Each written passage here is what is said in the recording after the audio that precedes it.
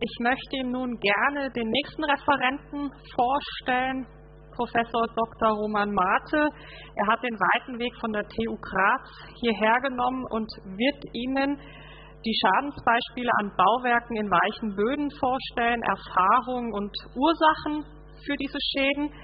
Ähm, Herr Mate hat nach seiner Promotion in zwei verschiedenen Ingenieurbüros gearbeitet und ist jetzt seit 2012 Institutsvorstand am Institut für Bodenmechanik, Grundbau und numerische Geotechnik, wie gesagt an der Technischen Universität Graz. Ich danke Ihnen, dass Sie die Reise hierher angetreten haben und bin auf Ihren Vortrag gespannt. Dankeschön. Auch von meiner Seite einen schönen guten Morgen. Äh, ich darf Ihnen von einigen Schadensbeispielen in, von Bauwerken in Reichenböden berichten. Ich werde fortsetzen mit dem, was Ulrich aufgehört hat, nämlich mit der Herausforderung und Überforderung. Ich durfte in meinem Berufsleben eigentlich seit Beginn meiner praktischen Tätigkeit sehr viel in Reichenböden bauen, habe sehr viel erlebt und war bei sehr viel mehr Schadensfällen beteiligt äh, und beigezogen als ich heute vorstellen kann. Ich habe beschlossen, ich werde mit dem Vortrag beginnen und wenn man mir ein rotes Schild mit einer Minute vorhält, dann werde ich einfach aufhören, wie weit auch immer ich gekommen bin. Eine kurze Einführung. Ich werde ergänzen zuliebig noch ein paar Anmerkungen über äh, wesentliche Eigenschaften von äh, Weichenböden machen. Ich werde ein Fallbeispiel 1 ein wenig als Einführung in die Problematik der Gründungstechnik bringen und dann, wie gesagt, werde ich mit den Fallbeispielen fortsetzen, bis die Zeit um ist. Ulrich hat schon erzählt, äh, hauptsächlich bei uns in Mitteleuropa weiche Böden in Verbindung mit glazial übertieften Tälern, die es in großer Form gibt, Bodensee, ähm, Rosenheim, was auch immer, die es aber auch inneralpin in den Tälern gibt, auch in sehr kleiner Form. Also auch steile, kleine Täler, die beispielsweise durch einen Bergsturz abgeschlossen sind, äh, postglazial, können mit solchen Sedimenten gefüllt sein. Das heißt, wir treffen diese weiche Böden manchmal sehr überraschend auch in 1500 oder 2000 Meter Höhe an. Wir haben vorher schon einiges über die Eigenschaften gehört. Ich will damit kurz beginnen. Das Problem bei diesen weichen Böden beginnt eigentlich schon mit der Parameterbestimmung. Üblicherweise die Verfahren, Bodenproben zu entnehmen, wenn möglich ungestörte Bodenproben im Labor, ähm, zutreffende Kennwerte ermitteln, funktioniert hier leider sehr oft nicht. Der Grund, Sie haben durch die Bohrtechnik, durch die Probenentnahme, durch den Transport ins Labor und durch den Einbau haben sie sehr oft schon eine Störung, was es sehr schwierig macht, beispielsweise realistische Steifigkeitsparameter, wie sie in situ vorliegen, zu bestimmen. Deshalb, Ulrich hat es gesagt, und wir hören später einen Vortrag dazu, ist es mittlerweile stärker üblich, dass man über In-situ-Parameterbestimmung äh, arbeiten möchte, speziell äh, Drucksondierungen, ähm, DMG, also Flachdilamatometer und so weiter. Wir sind im Moment gerade in einer Dissertation am Abschließen. Das ist übrigens auch der Kollege, der Herr Simon Oberholzer, der mir bei diesem Vortrag geholfen hat, der diese Arbeit abschließt. Da haben wir verschiedene Versuchsfelder in Österreich in weichen Böden näher untersucht. Es geht um diese In-situ-Parameterbestimmung und hier vorher schon gesehen typische Kennwerte der Drucksondierung. Ähm, so, gell? Mhm. Man sieht hier im unteren Bereich dann weitestgehend, ähm, ein weitestgehend ungestört, also ein weitestgehend äh, durch Schluft dominierter Bereich, ein tonige Schluft mit wenig Feinsand. Im oberen Bereich Wechsellagerungen aus Sanden, Feinsanden und Schluft, ganz typisch in der Ablagerungsgeschichte vieler dieser Täler. Spitzendruckwerte bei 1, 1 Megapascal, ganz typisch für unsere Seetone. Äh, Mantelreibungswerte äh, aus der Sonde bei ca. 10 bis äh, normal konsolidiert, leicht unterkonsolidiert, maximal 20 Kilonewton pro Quadratmeter. Ähm, auf der rechten Seite sehen Sie die Korngrößenverteilung mit der Tiefe der Feinkornanteil zunehmend. Grün hier stellt den Schluff dar, wobei hell, mittel, dunkel, immer fein, mittel, hoch. Blau ein wenig die Sande, oben stärker, nach unten weniger und dann der Ton. Das sind Proben aus einem Versuchsfeld im Rheintal, circa eineinhalb Kilometer von Mündung des Rheins äh, in den Bodensee entfernt. Auf der nächsten Seite die Ergebnisse eines Versuchsfeldes in Salzburg, auch das Salzburger Becken, geprägt durch diese postglazialen äh, Feinsedimente. Im Prinzip ähnliche Größenordnungen, etwas höhere Spitzendrücke, etwas höhere Mantelreibung, ähm, auf dies werden wir später noch eingehen. In den Plastizitätsdiagrammen, ähm, typischerweise, wenn die organischen äh, Anteile gering sind oder kaum vorhanden, sind wir knapp überhalb von der A-Linie, wobei hoch- bis mittelplastische Tone von der Kennzeichnung das Übliche sind. Hier nun etwas interessanter, das sind Scherwellengeschwindigkeiten, die wir äh, bestimmen, die uns im Wesentlichen die wesentlichen Grundlagen für ähm, numerische Berechnungen liefern, sprich die Kennwerte, die wir daraus ableiten. Interessant an dieser Stelle wiederum Links, rechts die beiden Versuchsfelder, die schwarzen Linien, etwas zickzack, sind die in situ festgestellten Scherwellengeschwindigkeiten. Die einzelnen Punkte, blau und rot, sind die im Labor mittels Bänderelement Tests festgestellten äh, Scherwellengeschwindigkeiten. Und was Sie sehen, dass die im Labor bestimmten Werte Größenordnung von 80 bis 90 Prozent der in situ bestimmten haben. Auch das eigentlich ein klares Indiz, dass wir, obwohl wir die Proben bestmöglich ungestört entnehmen wollten, dass das nicht gelingt.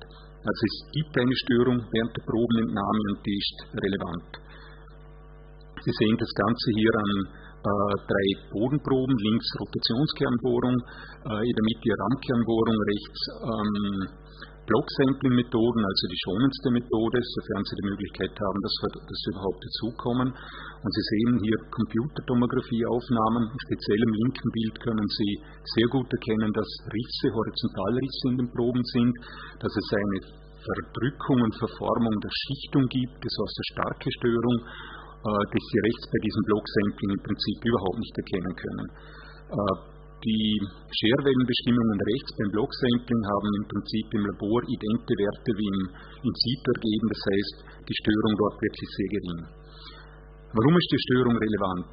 Es gibt, und das ist interessant, was Ulrich vorher erzählt hat, die Erfahrung, dass man in diesen Seetonen oftmals, wenn man das geschickt aufzieht, mit beispielsweise ein, äh, ein Untergeschoss, das auch so einen gewissen Aushub, und dann mit einer Flächengründung, gibt es die Erfahrung, dass man wesentlich geringere Setzungen hat, wie mit mancher Tiefgründungsmethode oder Bodenverbesserungsmethode.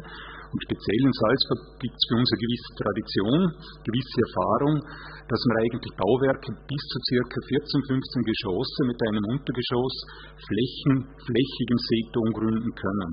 Die Setzungen bei 10 Geschossen ungefähr 6, 7, 8 Zentimeter, wenn das gut funktioniert und wenn man es geschickt macht. Ähm, die Frage ist ein bisschen warum. Wenn Sie aus dem Setum Proben entnehmen, wenn Sie damit im Labor Ödometerkennwerte bestimmen, da landen Sie irgendwo in der Größenordnung zwischen 6 bis 10 Megapascal. Wenn Sie allerdings die Bauwerke, wenn Sie es errichtet haben, wenn Sie die Setzungen gemessen haben, Rückrechnungen machen, dann müssen Sie bei der Setzungsberechnungen, egal ob Sie das numerisch machen oder wie immer, müssen Sie im Prinzip die drei- bis vierfachen Steifigkeiten ansetzen, dass Sie das nachweisen können, die Setzungen. Das heißt, Ödometer Labor 6 bis 10 Megapascal, Rückrechnung mit dem ähm, Salzburger Seeton für eine Referenzspannung von 100 kN pro Quadratmeter im Allgemeinen mit ca. 25 Megapascal für eine Seeton Erstbelastung hinein, bei einer Endwiederbelastung von ungefähr 4 bis 5. Also das passt überhaupt nicht zusammen. Und Sie sehen ein bisschen Erklärung äh, in der Darstellung dieser Rödometerversuche. Und wenn Sie da links schauen, das ist für den Blocksampling, Sie haben die grüne Linie, das sind Molded Proben, das heißt, die sind gestört, aufgearbeitet. Sie sehen äh, von Anfang an eigentlich sehr geringe Steifigkeit und demgegenüber die blaue und rot strichierte Linie, das sind die ungestörten Proben aus dem Blocksampling oder weitestgehend ungestört. Die sind bei einer In-Situ-Spannung von ca. 40-45 Kilopascal entnommen worden und Sie sehen bei einer Spannung von ca. 120 Kilopascal ein sehr starker Knick in der ähm, Spannungsverformungslinie und Sie sehen auch einen drastischen Abfall von der Steifigkeit. Wir führen das Ganze auf eine ganz auf eine geringe Strukturfestigkeit in diesen jungen Sedimenten zurück. Der Beweis für ihre Strukturfestigkeit ist extrem schwierig. In dem Fall ist es uns halbwegs gelungen. Die Auswirkung für die Strukturfestigkeit ist gewaltig. Wir können die Flachgründungen und die geringe Setzung uns eigentlich nur auf ihrer Strukturfestigkeit erklären. Und jetzt kommen wir zum Schäden und da geht es jetzt öfter um das Thema von der Strukturfestigkeit. Einführendes Beispiel. Sie sehen hier drei Bauwerke, gelb, blau, rot. Die sind in einem Zeitrahmen von circa acht Jahren Zeit versetzt errichtet worden. Gelb zuerst, dann blau, dann rot. Interessant, und deshalb möchte ich es als einführendes Beispiel bringen. Ähm, sehr unterschiedliche Gründungsmethoden, sehr unterschiedliche Ergebnisse.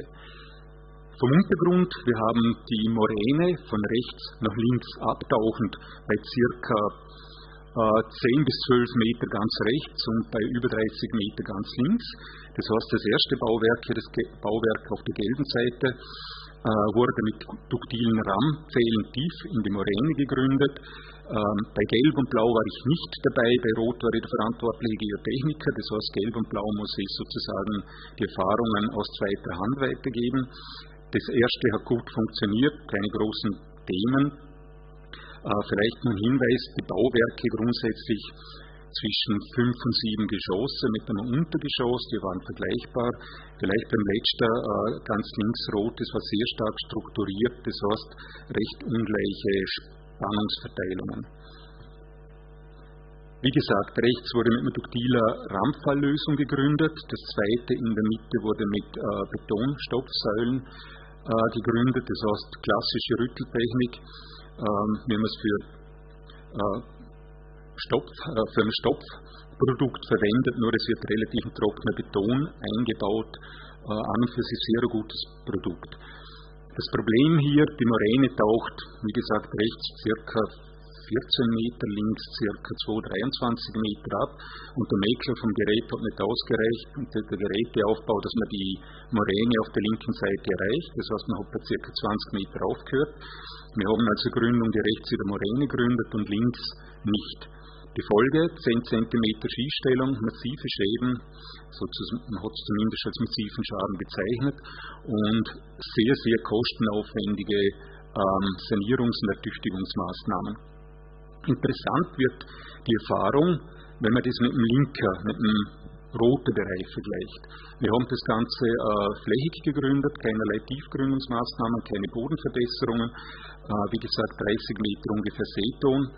Um dieser sehr ungleichen Gewichtsverteilung entgegenzuwirken, haben wir einen Teil der Spundwände äh, im Boden belassen, kraftschlüssig mit der Bodenplatte verbunden und sozusagen mit Setzungsbremsen verwendet. Gemessene Setzungen 3 bis 5 Zentimeter war, war ein bisschen hat eigentlich sehr gut mit der Prognose übereingestimmt, war ein bisschen weniger. Die Frage, und das ist eigentlich der Grund, wieso ich das Beispiel bringe, wie ist es möglich, dass die flach gegründete Lösung oder die Flächengründung links mit 3 bis 5 Zentimeter ähm, wie ist diese Erklärung vergleichbar mit der Erfahrung rechts, wo man 20, knapp 20 Meter lange Gründungselemente macht und es fehlen uns zwei, drei Meter bis in die Moräne und trotzdem werden 10 Zentimeter Setzung beobachtet. Da gibt es eigentlich keine ganz gute Erklärung, außer man geht davon aus, dass man durch die Baumethode selber eine wesentliche Störung vom Seeton verursacht hat. Und die Störung letztlich ist das Zerstören zu unserer These, unserer Vermutung oder unsere Arbeitsthese auch für die Dissertationen gelaufen, dass es dort zu einer Störung von der Struktur gekommen ist und damit sehr langfristige Setzungen eingeleitet werden. Damit komme ich zum zweiten Beispiel. Das ist äh, jetzt ein kleiner Sprung von der Stadt Salzburg nach, in den inneren Teil von Österreich. Das ist der inneralpines Becken, das Zellerbecken. Ähm, glazial über 100 Meter äh, eingetieft. Das heißt, wir haben jetzt Sedimente, die reichen von Sand dominiert bis Luftton dominiert bis Dorfen von mehr als 100 Meter. Und im Zuge von der Erweiterung von einer bestehenden Müllbearbeitungsanlage der Zenker sollte eine Biogasanlage gebaut werden. Sie sehen da links ein bisschen Grundriss. Ähm,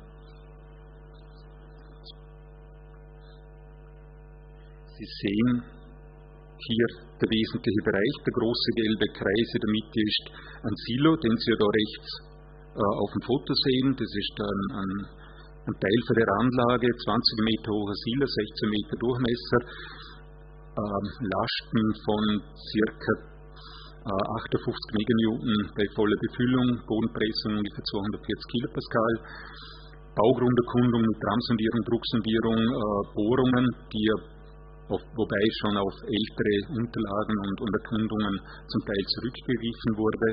Baugrund, Oberflächennah, ca. 2 Meter Anschüttungen, Tunnelausbruchmaterial vermischt mit Müll. Ähm, ganz interessante Kombination. Dann diese 8 Meter tiefe Dorf, bis in 12 Meter tiefe tonige Schluffe, welche Konsistenz ab 12 Meter hat der sanddominierte Boden begonnen, wobei der zum Teil Schluffen, zum Teil von Kiefen versetzt war. Ausgeschrieben war ähm, eine Lösung mit Fertigteil-Rampfählen. Vom Konsortium, dessen Zuschlag bekommen hat, wurden dann wiederum Betonstoffsäulen hergestellt. Äh, Sie sehen da rechts im Grundriss die Austeilung der Säulen. Gebrauchslast ca. 700 kN geplant, Länge der Säulen 16,5 Meter, sprich 4 bis 4,5 Meter Einbindung in diese Sande auf 12 Meter. Interessant ist dann geworden, wo man die erste Probebefüllung nach Fertigstellung für den Silo gemacht hat. Ähm, innerhalb von drei Wochen hat es eine Schiefstellung von ca. 8 cm gegeben. Das heißt, auf der einen Seite ca. 2, 2,5 cm Setzung, auf der anderen Seite ca. 11 cm Setzung. Unter der blauen Linie können Sie erkennen, dass ein Abklingen der Setzungen eigentlich nicht zu erwarten war. Große Aufregung. Ähm, es ist im nächsten Schritt äh, Beratungsteam, Experteteam zusammengetrommelt worden mit der Aufgabe A. Ursachenfindung, B. Sanierung, C. Begleitung mit dem ganzen Streitverfahren. Wir sind dann im Prinzip einmal im Sinne von uh, was ist möglich, sind auf vier Thesen gekommen, die als uh, Ursachen in Frage kommen. Das ist ein, zum einen ein Problem im Kraftanschluss vor der Betonstoppsäulen an die Bodenplatte. Das zweite hat, es hat ähm, Vermutungen gegeben, dass die Betonstoppsäule im Bereich des Dorfs und der müllhalt, müllhaltigen Anschüttungen auch nicht integer waren. Das heißt, dass die Aushärtung und so weiter nicht ganz funktioniert haben könnte. So dann ähm, Fragen über die Einbindung der Säulen in diese Sandschicht und dann unterhalb von den Säulen selber noch in die Tiefe runter, dass es da Heterogenitäten gegeben hat. Aus der Ausführung hat es die Erfahrung gegeben, dass durch die Herstellung eigentlich eine saubere Verdichtung im Sandbereich stattgefunden hat. Das heißt mit Transmutierung ungefähr eine Verdoppelung von der Schlagzahlen. Die Probebelastung an der Säulen hat auf Gebrauchslastniveau 700 kN ca. 4 mm gezeigt, Prüflast 1200 kN 2,5 cm, hat auch gepasst. Äh, das heißt, dieses passiert ist, hat man nicht erwartet.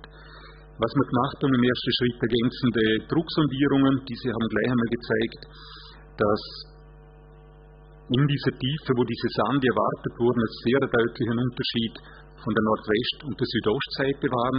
Das heißt Spitzendrücke bis über 20 Megapascal auf der einen Seite, nichts besonders auf der anderen Seite. Ähm, Kernbohrungen haben das bestätigt, dass da einen Unterschied vor allem im Kiesanteil gibt.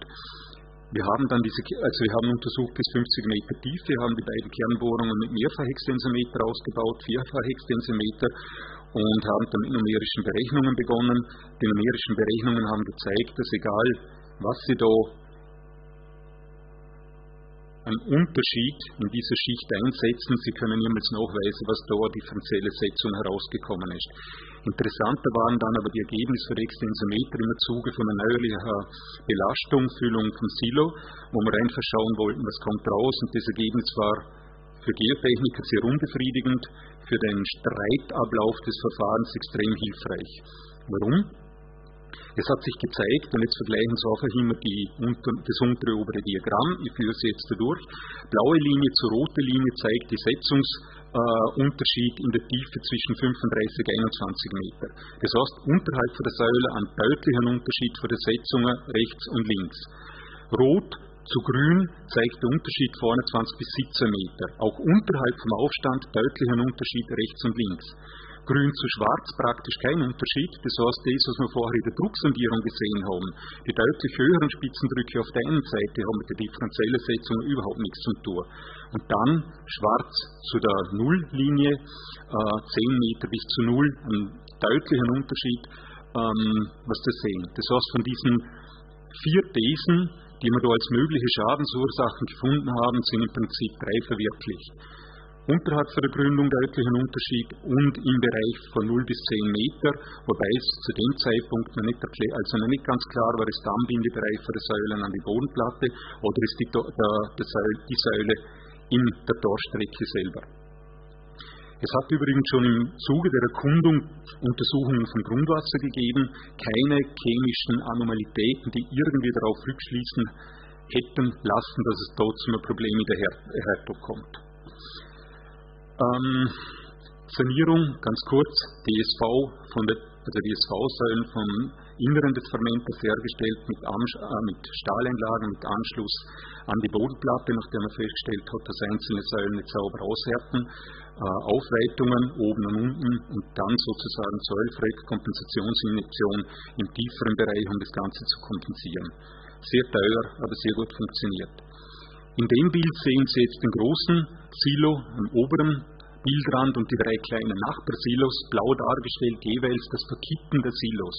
Also als ob jemand gewürfelt hätte. Nicht erklärbar. Aber auch die kleinen Silos haben sie verdreht. Die wurden dann fünf oder vier Jahre später äh, saniert. Zu dem Zeitpunkt hat man weder das Geld gehabt, noch wollte man den im ersten Fall vermiedenen Gerichtsstreit also hier initiieren. Also war man gefordert, etwas sehr Billiges, Kostengünstiges zu finden. Und wir haben dann hier sozusagen einfache Hebesysteme gemacht. Knacken unter die Silos, äh, zwei Druckpfähle, einen Zugpfahl, das Ganze sozusagen vorgespannt.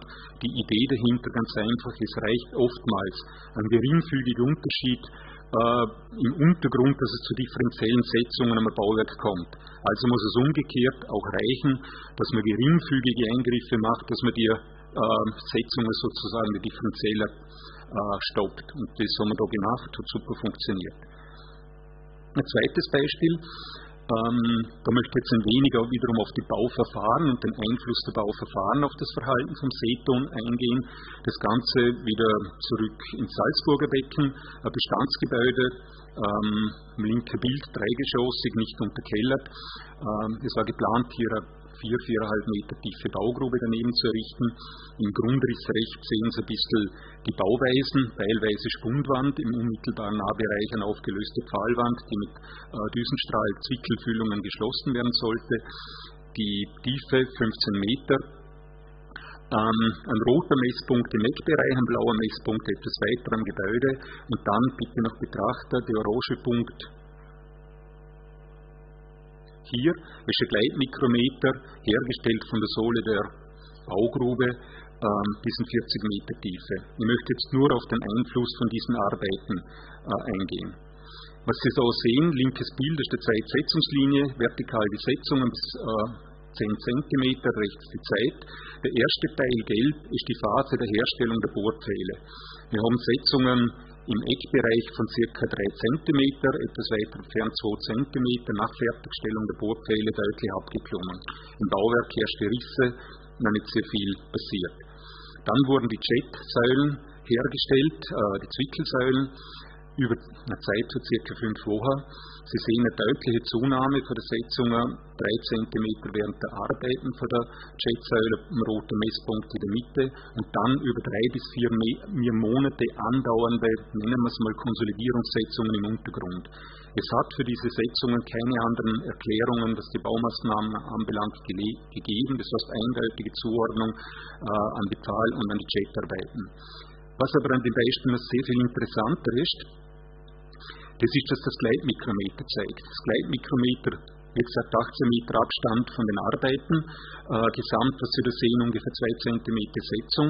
Interessant in diesem Diagramm rechts, die Pfahlunterkante und die Unterkante der Jetarbeite auf einem Niveau von ca. 11 Meter weil das Gleitmikrometer in der Baugrubensohle äh, sozusagen den Kopf hat. Und dann wurden aber Setzungen bis in knapp 30 Meter festgestellt. Das heißt, das durch die Arbeit, da hat man irgendwas in dem Seeton angestellt, äh, der wie gesagt zu diesen sehr langen dauernden Konsolidierungssetzungen geführt hat. Wiederum ein Hinweis darauf, dass es sowas wie eine Struktur in diesen Seetonen zumindest örtlich und teilweise gibt.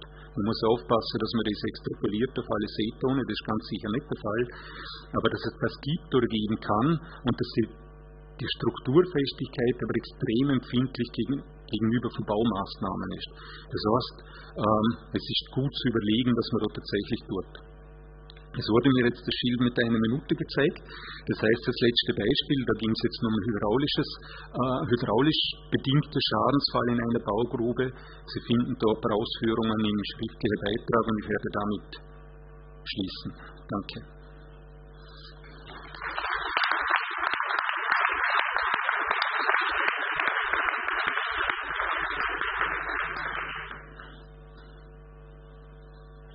Dr. Mate. Gibt es zu dem spannenden Vortrag von Ihrer Seite her Fragen zu den Beispielen, die vorgestellt wurden?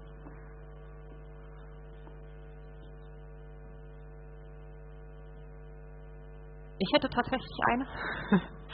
Wird es immer noch gemessen? Also jetzt immer noch nach Fertigstellung? Sind da immer noch Messkonzepte am Laufen? Mhm.